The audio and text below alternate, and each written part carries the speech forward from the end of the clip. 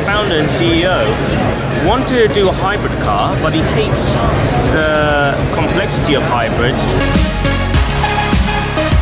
So this car doesn't have a gearbox. And the reason we don't need a gearbox is because the car produces so much torque and so much power, uh, we don't need gears.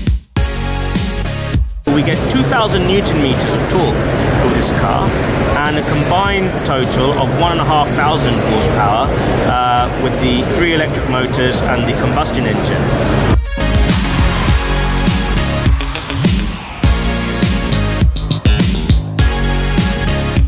We tried to make the interior a lot cleaner and uh, not cluttered up with uh, lots of buttons. So we have a, a nice big uh, display over here which operates things like the electric seats, uh, all the different modes on the car. We also have Apple CarPlay.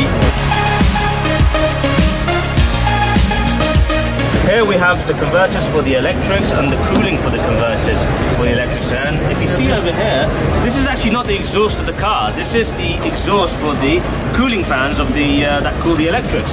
The actual exhaust for the engines are actually these fins over here, which are made in titanium, which actually form part of the diffuser.